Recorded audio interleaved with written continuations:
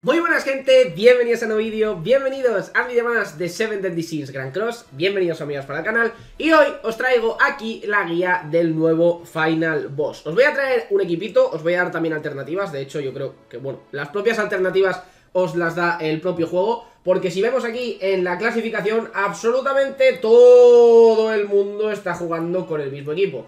Personalmente yo este equipo no lo puedo utilizar, ya sabéis que yo este personaje de aquí no lo tengo bien chetado, eh, tengo entendido que también tenía su propia reliquia del, evento de KOF.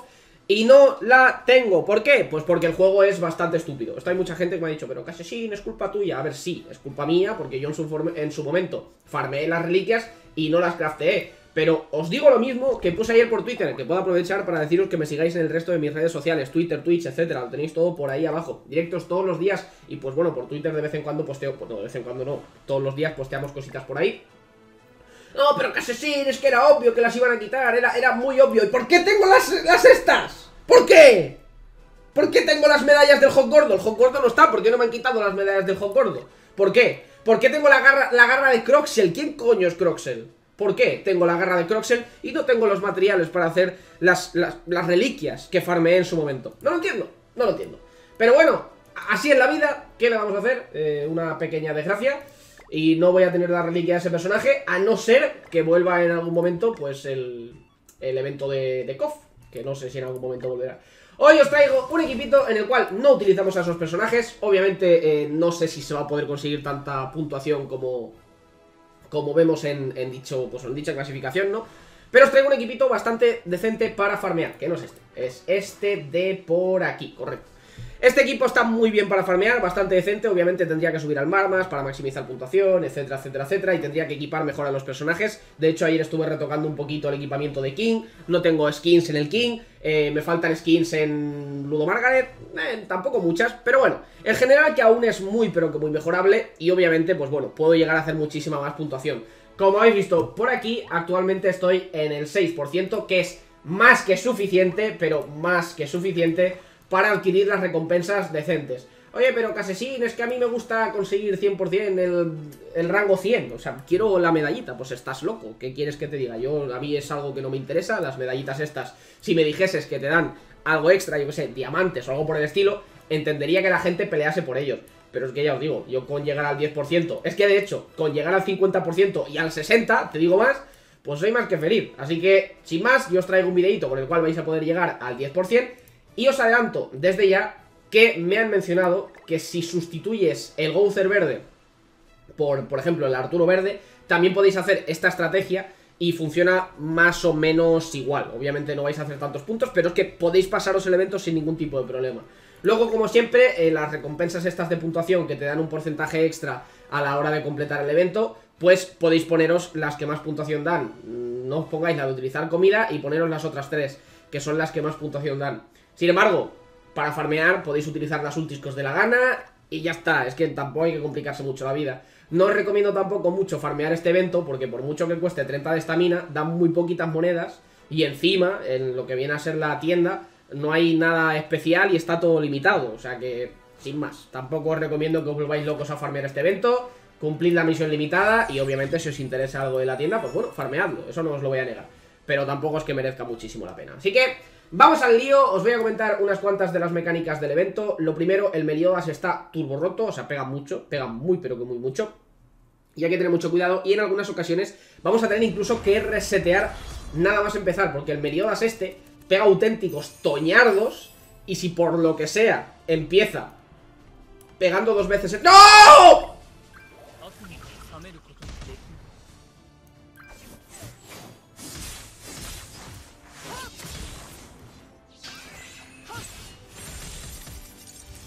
Bueno, creo que era lo que iba a hacer. ¿O no? No, no era lo que iba a hacer. Bueno, estamos bien. Como os mencionaba, el Meliodas pega muchísimo más Tanto a humanos como a hadas. Y obviamente es algo que nos preocupa. ¿Por qué? Porque suele focusar al King, el desgraciado. Así que lo suele ganchotear Con lo cual el Meliodas si pega puede hacernos mucha, mucha, pero que muchísima pupa Luego, por otro lado, tendríamos a Celdris, que le pega mucho más a raza desconocida y por norma general va a pegarle a nuestro a nuestro Gouzer verde. Y luego el otro, que una vez eh, tire estabilidad, nos va a deshabilitar eh, los ataques durante el siguiente turno. Podemos utilizar un bufo de Ludo Margaret para eh, quitarnos dicho bufo, en el caso de que lo creamos conveniente, pero tampoco es algo que digáis que es imprescindible, ¿no? Lo único que tenemos que tener en cuenta es que la fase 2 vamos a intentar one-shotearla. ¿Por qué? Porque en la fase 2, si Meliodas aquí se vuelve un poco loco, en la fase 2 Meliodas se vuelve mucho más loco y se pone un taunt que literalmente te one-shotea. Y eso es algo que no nos gusta, no nos gusta que nos one-shoteen, gente. Con lo cual, ¿qué vamos a hacer para llegar a la última fase chetaditos? Vamos a intentar llegar con un bufo tirado, si es posible, de level 3 y tenemos que llevar una carta mínimo de sesgada del King y, a ser posible, también una carta de carga de Ludo Margaret. Podéis pasarlo perfectamente con doble carta de sesgada de King, pero es bastante importante que turno tras turno tiréis cartas de King para poneros ese escudo que os proteja de, eh, básicamente, los, los ataques de vuestros enemigos, ¿no? Así que sin más, esta sería la recomendación Ahora lo que necesito 100% es un rank up Y con un rank up ya me lo paso absolutamente todo Porque llego a la siguiente fase Con eh, básicamente el, el bufo de level 3, pero no me ha salido rank up, así que sin más, no tiene muy buena pinta esta run, gente. Y ya recordad que, bueno, para, para haceros este tipo de eventos dependéis un poco del RNG. Así es como funciona este juego, no hay mucho más que mencionar. Ahí veis como el Meliodas pega una auténtica barbaridad al King. Y ya os digo yo que esta, esta run no tiene muy, pero que muy buena pinta. De hecho, lo que deberíamos hacer en este... Es que tengo que tirar sí o sí esto. Lo que deberíamos hacer en este turno es chilear y esperar, pero no podemos esperar porque literalmente nos morimos porque el King se moriría. Así que sin más, vamos a pasar a la siguiente fase y si nos estampamos, pues nos estampamos y no pasa absolutamente nada, volvemos a empezar y así el vídeo pues dura un poquito más, que también es importante que los vídeos duren más, ¿no? Pero bueno, la estrategia sería la siguiente, llegar a esta fase con el... con el... con el este al... ¿cómo se llama? No me sale con el, con el bufo al 3 y obviamente eh, para poder haber cargado la pasiva de Ludo Margaret, que es bastante importante teniendo en cuenta que, bueno, eh, pues obviamente nos bufa bastante, así que sin más. Eh, intentando tirar ultis, en este caso seguramente me haga falta tirar ultis, aunque yo creo que no voy a poder llegar. Y aquí es donde está el problema, que es este Meliodas, que como veis por aquí, eh, se pone una postura que hace que le inflijamos un, bueno, que nos devuelva un daño del 1000% de lo, que, de lo que le hemos pegado. Podemos matarlo, sin ningún tipo de problema, podemos matarlo, pero va a ser muy complicado, va a ser muy, muy, muy complicado. Lo vamos a intentar, pero lo más normal es que no nos dé el daño. Yo aquí ya tiro las ultis porque obviamente esta no sería una RAM para hacer puntos. Podéis llegar a mucha, mucha puntuación con este equipo sin ningún tipo de duda. Pero vamos, eh, no va a ser mi caso. no va a ser mi caso por lo menos en, esta, en esta oportunidad. Tenemos aquí el rank up, ha llegado bastante tarde porque el resto de las cartas las tenemos, pero es que ya, ya no podemos hacerlo, gente. Vamos a abandonar y vamos a echarnos otra a ver si tenemos algo más de suerte con los, con los bufitos. Y obviamente, pues bueno, lo importante es sobre todo que, que farméis lo que, os, lo que os sea necesario, lo que queráis de la tienda y que os situéis por encima del 50%, que ya sabéis que para entrar dentro del 50% literalmente lo podéis hacer, no hace falta ni que lo hagáis en gel, es que es un paseo, ya sabéis cómo funcionan este tipo de eventos, entrar en los rankings de lo que viene a ser los diamantes, que es lo que interesa, vamos, sin ningún tipo de problema. Así que vamos allá, he visto mucha gente que recomienda que, que juegues un poquito más agro y que empieces a tirar este tipo de cartas al principio, para empezar a cargar la pasiva de Ludo Margaret. Puedes jugar más agro, si buscas puntos puedes hacerlo. Yo en este caso ya os digo, no voy a buscar puntos, lo que voy a buscar es sobre todo, pues bueno, eh, ¿cómo decirlo? Poder, poder hacer un... Eh, la run, para enseñaroslo, ya está. Si buscas puntos, pues bueno, reseteas como un borracho. Eh, que en el primer turno te robes ya el rank up, que ya tengas doble bufo para empezar a cargar la, la pasiva de Ludo Margaret, que tires los bufos como un auténtico loco porque te hacen falta de cara... Vale, aquí tenemos una buena run. Aquí tenemos una posible buena run. Sí que estamos bien. Lo que nos hace falta es un rank y un bufo. Así que, pues bueno, a ver si tenemos suerte. Pero esto está, de momento, bien. De momento estamos bien. De hecho... es que me gustaría no tirar nada, ¿sabéis? Me gustaría no tirar nada. Esta carta de King la tengo que tirar para, para curarme un poquito, bueno, para curarme, para ponerme el escudito. Y esto me lo debería guardar. Con lo cual vamos a mover el rank up a la izquierda, a ver si tenemos suerte y nos robamos un rank up, se junta directamente. Y nos robamos también ese bufito que nos hace falta. Y recordad que en este turno nos van a deshabilitar las ofensivas, así que tendríamos que tirar un bufito, que no va a entrar, por desgracia, y tirar una de las cartas de King. Pero bueno, eh, si me lo consigo pasar en este vídeo, yo seré, ya os digo, más, que feliz, ¿eh? En este turno va a ser... Eh, esta carta. Vamos a tirar esto para ponernos escudo. Y vamos a tirar esto para, para intentar robar algo más. Pero ya veis que el King está tocadito. Ahora nos vamos a curar un poquito.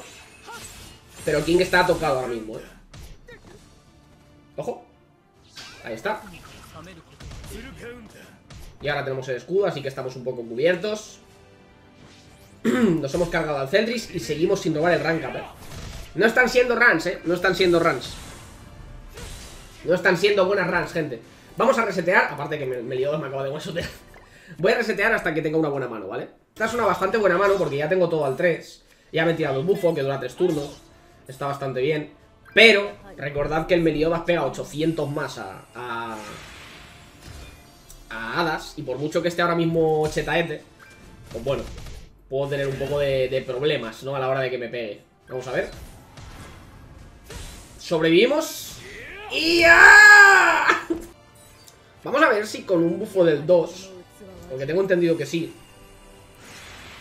si nos lo podemos hacer. Sinceramente no lo tengo del todo claro. Pero vamos a intentarlo. tenemos dos cartas de sesgada, lo cual está bastante bien. Y tenemos una de la Duo Margaret, ¿vale? Así que está bastante bien, insisto. Podéis tirar ultis, sin ningún tipo de problema. Podéis tirar ultis, que no pasa absolutamente nada.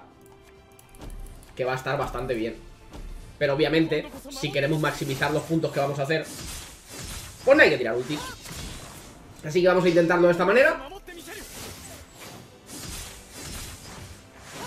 Y a ver si luego Margaret termina el trabajo. Igual no lo termina, pero a Meliodas lo mata. Sí, sí, sí, lo mata. Lo mata, lo mata, lo mata. Pues aquí tenemos la run, gente. Con bufo del 2, obviamente con bufo del 3 sacaréis más puntos. Pero este equipo funciona perfecto. Qué bonita es, este. No penséis en que tiene pito. Que realmente... ¡Hostia! Yo no entiendo... No entiendo cómo funciona. No lo entiendo. Bueno. Pues 5.000 puntitos. Me esperaba menos. O sea, ya habéis visto antes que... que estaba bastante más abajo. No entiendo muchas veces cuál es el...